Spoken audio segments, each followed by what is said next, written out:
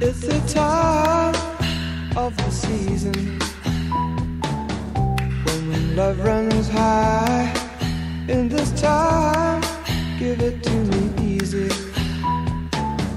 and let me try with pleasured hands to take you in this time